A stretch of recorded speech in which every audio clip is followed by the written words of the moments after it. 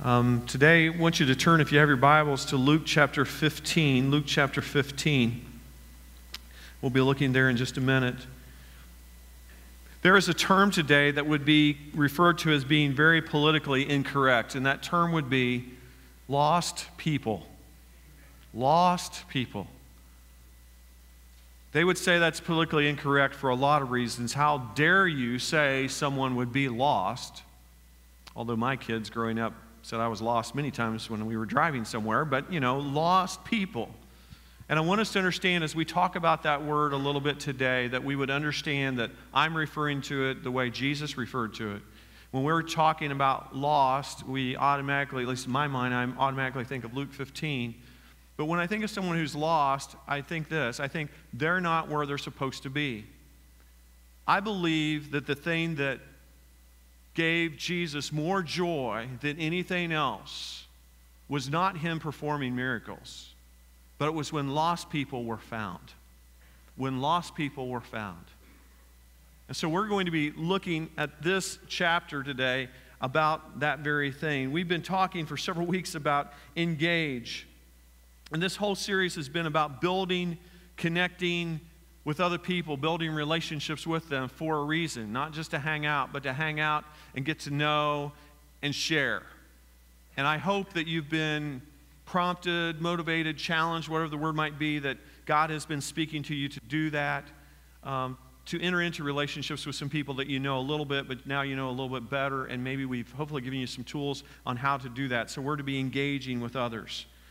And we do that because we love God and we love people. We do that because we love God and we love people. Now we have a statistic up here for you this morning uh, from their book that says this Lost in America. It says, Within the next 24 hours, several thousands of people in the U.S. will die without knowing Christ and will spend eternity separate from Him as a result. Now, we should let that just sink in. Just let that sink in. Then, the next 24 hours, several thousand people will die without knowing Christ.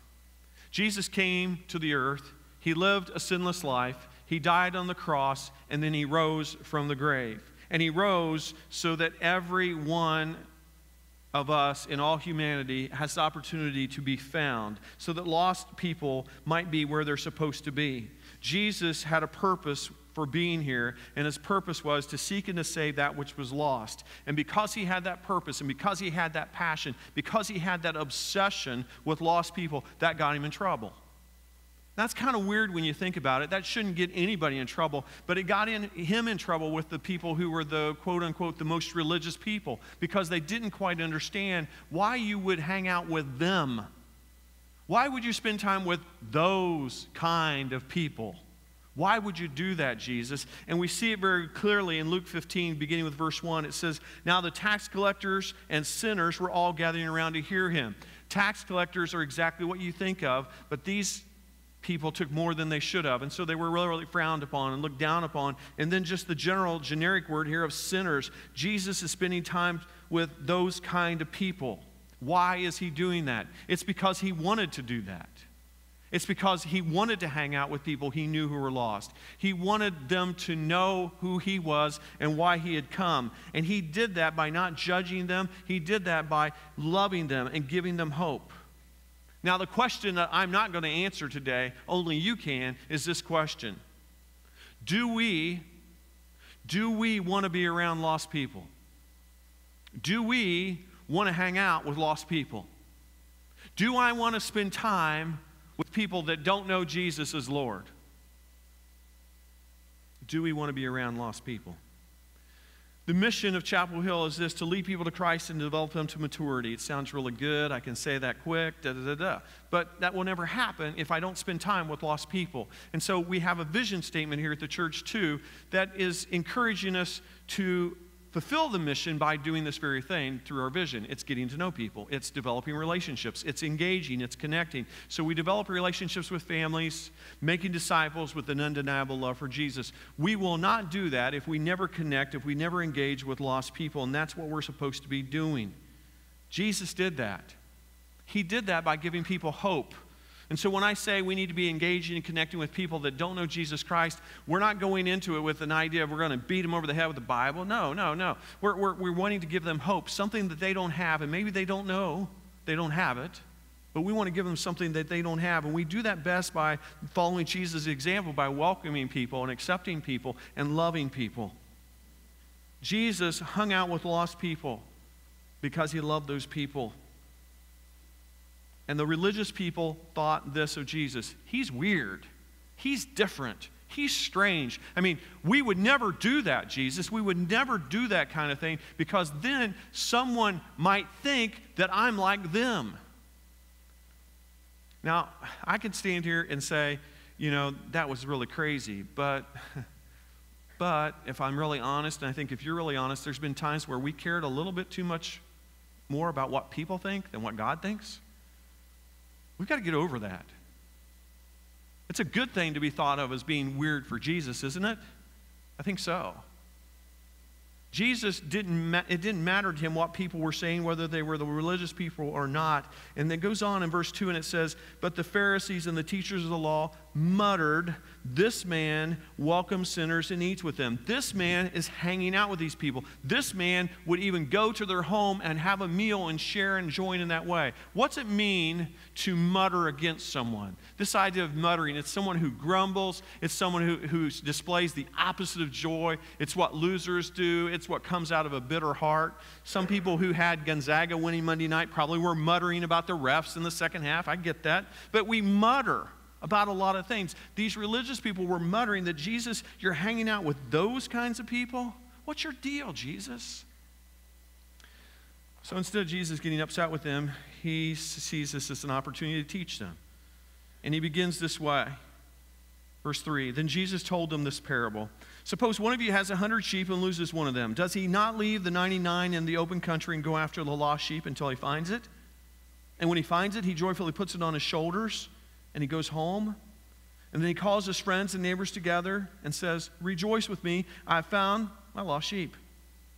I tell you that in the same way, there will be more rejoicing in heaven over one sinner who repents than over 99 righteous persons who do not need to repent. What do we know about sheep? Most of us know sheep aren't the smartest animal out there. They're not very smart, and they tend to want to go in herds. Now, I, am going to get myself in trouble by saying this, but that's the way it goes. You know, we have some junior high girls here probably this morning, and I, I tend to think of junior high girls all going to the bathroom together. They kind of herd together. I think of some high school guys. If, if one person's playing a game, whether it's basketball or a video game, we're all going to do that. We kind of do that. And guess what? As you get older, we do the same thing. We herd together. That's just how we are. So we're a lot like these sheep. We're not always too smart, and we like to do things in a group. Not totally bad, but that's how we are few years ago, I read about how 11 people lined up outside of a theater in Hollywood 46 days before the premiere of Star Wars Episode 2 The Revenge of the Sith. Tells you how long ago that's been. But one, one after another, they took their places in line, they set up their tents. You know how people do this for concerts and theater premieres and all that, and they began to wait for 46 days. Problem? They were at the wrong theater. Wasn't even showing that. We tend to be that way. So we're, we're just that way as people. This shepherd in the story does this. He, he, he, he's, he's lost something. He's missing something. It's a sheep. He loses the sheep, and the sheep got lost. We're not sure why. Probably because of his own foolishness. He wanted to go his separate way. He began to wander off a little too far. He basically was lost. He wasn't where he was supposed to be. And the shepherd is intent on finding this lost sheep. And so he leaves the 99 back here. I want us to notice a couple things that maybe we don't always notice in the story. One of those things is when he finds the sheep, he doesn't beat the sheep, he doesn't kick the sheep, he doesn't have a whip and whip the sheep. He's joyful that he's found the sheep, and he picks it up and puts it on his shoulders.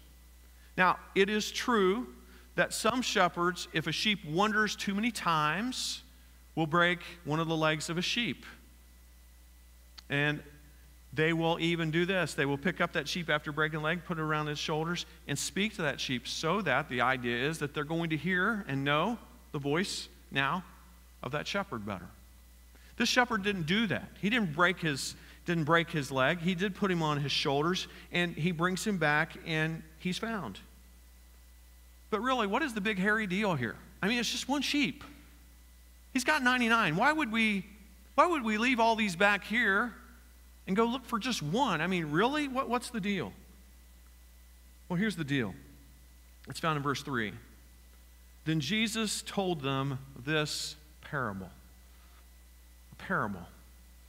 All of us in this room have heard good stories, and maybe we've ter- told some good stories. This isn't just a story about a shepherd and sheep. This is a parable. A parable. What is a parable? Jesus used parables in his teaching all the time. When I was a kid in the church, I always heard the, this definition a parable is an earthly story with a heavenly meaning. And it's not a bad definition. It's a story that we can all relate to, we can all understand as humans, but there's more to it. There's some spiritual meaning here to it. And so we've got some definitions like, like this that, that it's, a, it's, a, it's, a, it's a short story that's used to teach a moral or spiritual lesson. And so the parable of the lost sheep is so much more than about a sheep and a shepherd. There's so much more. We need to understand that that shepherd and those sheep represent something. The shepherd represents Jesus Christ, and the sheep represent you and me, humanity including people who are lost, not where they're supposed to be. You see, it's this in the story we need to understand that Jesus doesn't care. He doesn't care what it is we've done to find ourselves where we shouldn't be. There have been times in each of our lives today we were somewhere where we shouldn't have been, or maybe looking at something we shouldn't have looked at, or done or said. I mean, the list is long, isn't it? But all our shepherd, all Jesus cares about is getting us back where we're supposed to be. And the Bible tells us in these scriptures in chapter 15 that when that happens, Jesus says, in a sense, it's time for a party. They're back, they've been found. He goes on, he wants these people to get it, so he tells another story. Hopefully, this will connect with them, he must be thinking. Or suppose a woman has 10 silver coins, she loses one. Does she not light a lamp, sweep the house, and search carefully until she finds it? And when she finds it, she calls her friends and neighbors together and says, Rejoice with me, I found my lost coin. In the same way, I tell you, there is rejoicing in the presence of the angels of God over one sinner who repents. The angels of God are excited when one sinner repents. When somebody knows, hey, I'm lost, I'm going in the wrong direction, I need to be heading this way, I need to be going towards God instead of going away from Him. That the angels have rejoiced. There's a party that takes place. Now, there's part of me, I'm like, okay, you had 10 silver coins and you lose one. Is it really that big a deal? Yeah, it's a big deal because this one coin represented one day's worth of wages. And so she does all these things. And I think we would do the same if I lost a day's wages. I'm going to look for that. I've misplaced that cash or check or whatever. And so she lights a lamp, she sweeps the house, we would get out the flashlight, we'd move furniture, we'd do anything so that we could find that. And when she finds it, she calls everybody together to say, I, I found it. Because if we lose things, we tell other people, especially with something very valuable to us, we want other people to know about it. And so we've asked them to maybe help us think of ideas and all those things. But she's now found it, and so she's rejoicing. Everyone in this room has probably lost something. But hopefully, not everybody in this room has lost something of great value to you that you didn't find. When you have lost something of great value to you, whether it was monetarily valuable or sentimental to you, and when you did find it, what did you do? You told other people because you've already told those same people, I feel so bad I lost whatever it might have been. And so we celebrate and we rejoice and we have a party about that. This is not just a story, this is a parable that Jesus is using to teach us. And so this lady, this woman, it's really representative of Jesus. These coins are not just coins. These coins represent you and I as humanity, and especially lost when we're not where we're supposed to be. You see, Jesus wants us back where we're supposed to be, and when he finds us, he throws, he throws a party. I don't like the statement, but I believe it's true. Sometimes people are spiritually lost because of our own neglect. Sometimes people are spiritually lost because of our own neglect. We haven't said, we haven't done anything. It's a person at school that I know, but I know they don't go to church, they don't believe in God. I've done nothing to help them in that. It's a person at work. it's a person in my neighborhood. We know those people, but sometimes it's due to our own neglect. Recently read this story about in Nazi Germany during World War II. There was a small group of Christians, Christian Germans, who enjoyed gathering together like we are right now for worship. And they enjoyed the preaching and the singing and the fellowship and all that comes with worship. And they enjoyed everything except one thing. You see, there was a railroad track that brought noisy trains right behind the church.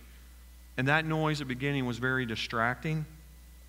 But on Sunday, it became disturbing.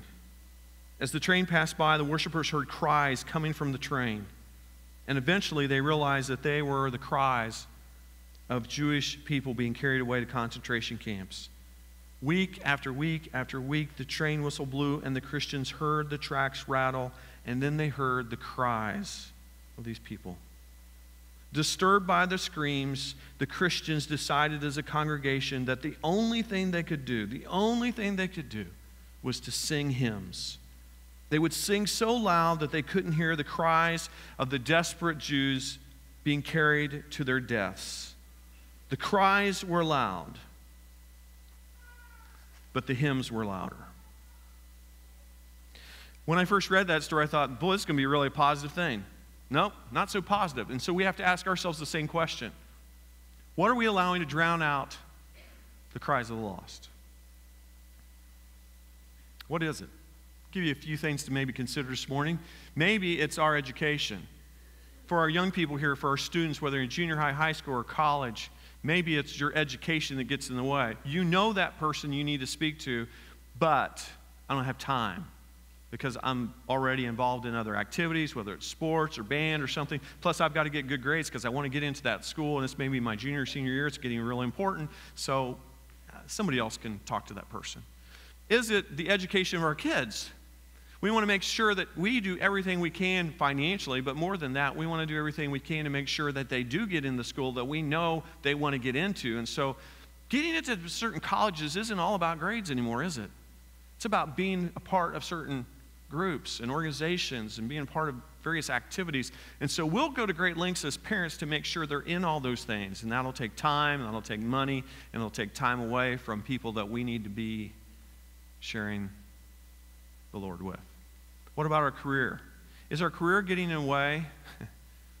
We're so conscientious about more and more and more and having more and more. So I'm taking all the overtime I can get and working extra and extra at the expense of maybe my family, my relationship with my spouse, but also at the expense of talking to a neighbor. I mean, really, my neighbor lives just across the street from me, I know them and they don't have a church and they don't follow Christ, but I've never talked to them about it. What else is it? It could be this, it could be our hobbies. This is the time of year we start thinking about fishing, golf, different things that maybe get in the way of doing that thing. Maybe it's social media, maybe it's shopping, maybe it's entertainment. We've got to go to the latest and greatest, the premiere of this movie, the premiere of that movie, and you know, whatever it might be. I've got to be entertained. And so those things can get in the way, and all of a sudden they are drowning out the cries of the lost. George Barna estimates that there are between 180 and 190 million people lost in America. And the problem with that statistic, as Steve Whitten and I was talking about that earlier, I said, Stephen, that, that statistic's from 2000. That's really old. But we both concurred, yeah, it's old, but it's probably grown that much more, but it's at least 190 million people today in America who are lost. That's a number. How do we flesh that out to understand how many people that is? Well, a couple examples. One is, and I don't like to think about the New Orleans Superdome since the Colts lost the Super Bowl there, but that's the New Orleans Superdome. 190 million people who are lost in America. To have that many people go to the Superdome would take 2,638 times. 72,000 is what that holds. 72,000 would have to be there over 2,000 times for us to get to that number. Another example 190 million people in America are lost. It would take the population of Ethiopia and the population of that of Mexico to come up with 190 million people. So it's time we quit. It's time we quit. It's time we quit allowing other things to become more important than what we know is the most important thing to do. It's time we quit obsessing, being so busy that we don't have time or make time for things that we know we need to do. And we rationalize that away by saying, I don't have time. I'm too busy. And how can we, as Christian people, having what we have, knowing what we have, do that any longer? 190 million people plus in America, just in our country, who are lost. It's time that we quit. Jesus wants to make sure we understand all of this, and he wants to make sure that these religious leaders understand. And so he tells another story, and maybe the most famous of the three lost stories. Verse 11 Jesus continued There was a man who had two sons. The younger son, the younger one said to his father, Father, give me, like that, give me my share of the estate. So he divided his property between them. Not long after that, the younger son got together all he had, set off for a distant country, and there squandered his wealth in wild living. After he had spent everything there was, there was everything, there was a famine, a severe famine in that whole country, and he began to be in need. So he went and hired himself out to a citizen of that country who sent him to, to his fields to feed pigs. He longed to fill his stomach with the pods that the pigs were eating, but no one gave him anything. And when, the, when he came to his senses, which is my favorite verse, when he came to his senses, when I'm like, uh, this isn't where I need to be, he said, How many of my father's hired men have food to spare, and here I am starving to death? I'll set out and I'll go back to my father and say to him, Father, I've sinned. I've sinned against heaven and against you. I am no longer worthy to be called your son. Make me like one of your hired men. So he got up and he went to his father. But while he was still a long way off, his father saw him. And his father, he was filled. He was filled with compassion for him. And he ran to his son and threw his arms around him and kissed him. And the son said to him, Father, I've sinned against heaven and against you. I'm no longer worthy to be called your son. Father's not hearing any of that.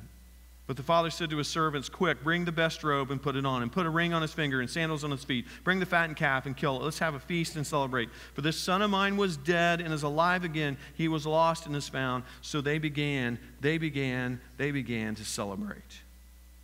There's so many cool parts about that story. One of those cool parts is this whole idea of this father. He is, he is looking day after day after day. I'm looking I'm looking for my kid. I hope he's coming back today. While he was still a far way off, the father saw him, and he tells us, his father that tells us he's looking for him and watching for him, and he was filled with compassion. Well, let's understand a couple things. When he went to his father and asked for his loot, his inheritance, because he was the younger son, he only got a third of his inheritance. The older son would get two thirds of that, but it was still quite a bit of change, we believe. So he's got something from his father. What's worse than that is he's treating his father as though his dad was dead because he's asking for something that he shouldn't really receive until his father's dead. So, Dad, I'd like for you to be dead, but you're not. I want to go, so I want this now. Give it to me. He takes it and he squanders it all away. If you're that dad, how do you treat this guy coming home? I mean, it'd be so easy for us, wouldn't it? Humanly speaking, I told you this would happen. You should have never asked for that. You should you wasted, you didn't. Did you invest any of this? What did you do with all this? But that's not what we see in this story. The story says this father has compassion for his son and he kisses him. And this parable, if you get anything from this story, I hope this will resonate. You'll remember that this parable teaches us that God runs. That God runs. The question is today, what makes us, you and me, what makes us run? I know what makes me run. Oh, it was about a year ago. It was about a year ago that one of our daughters was taking certain medication that we got at Sam's Club. And we had to get it that day. And I'll tell you, I sinned. I was driving 85 around 465 so that we could get that medication at Sam's Club that day. That'll make you run, won't it? You got to have the medication. I'm not the only one that's done that, right? You're all looking at me like, how could you do that? Um, I'll tell you another thing that makes me run is when I'm late for the airport. I've got to get on that flight. Have you ever been in that situation? You're running. You don't care what people think of you, how, how you look when you run. You don't care. I've got to get on that plane. Several years ago, we were, I was on my way home from Haiti. We had a flat tire on the, on the truck. I've got to get to Port-au-Prince to get my flight, get on American Airlines, get back to Miami. I'm like, we got to get there. I wasn't walking, I was running to get to that little Cessna airplane so that we could get to Miami. And some of us run because just need to lose weight, so we run. What does it makes you run? What does it makes you run? What makes God run is lost people. What makes us run? All those other things that really, at the end of the day, don't amount to anything. But what makes God run is lost people.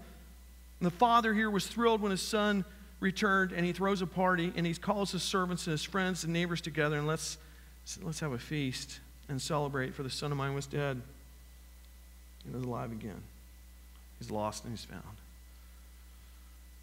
Recently, my um, niece, who is 25 now, um, left. Um, left the United States, and the only way I know where she's been is because of my one of my girls still connects with her on social media, and she left this country with her child, and she left and went to Bangkok, Thailand. My sister didn't even know it. My niece is lost. In fact, recently I was told by one of my other girls, Dad, she's no longer in Thailand, she's in this other country. She's not communicating with my sister at all. And I don't know how my sister's handling this. I don't know how she's doing it. Don't you know where your kids are today? Don't you want to know where your kids are all the time? She doesn't have a clue where her daughter is. She doesn't know if she's safe. She doesn't know how she's making it. And I'm telling you, when Lindsay comes home, there's going to be a party. When somebody's lost and they're found spiritually, there ought to be plenty of parties. February 12th, we had a party here. And um, we played the party first service, and it was just really hard for us to see. But most of you, being you're here at 11 o'clock, you witnessed this party. You were a part of it.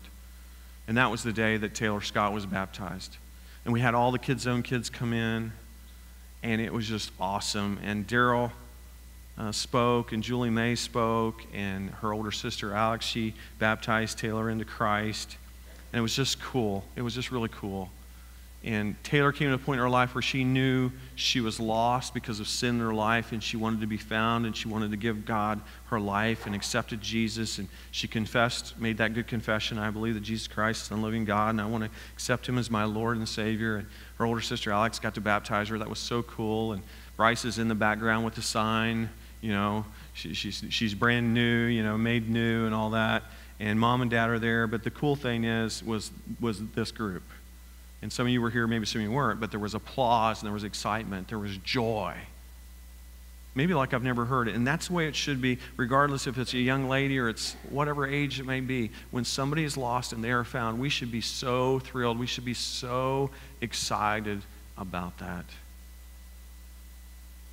one who is lost, who's now found. Sidewalk Prophets is one of my favorite groups, contemporary Christian groups, and they have a song that goes this way It's been a long time since you felt peace in the valley you made where you're not meant to be, where the shame threw shadows on you, but don't you forget that you're headed to more, but you've settled for less. Don't buy the lie, it's as good as it gets. The same feet that left you lost and alone are the very same feet that can bring you back home wherever you are, whatever you did, it's a page in your book, but it isn't. It isn't the end. Your father will meet you with arms open wide. This is where your heart belongs. Come running like a prodigal.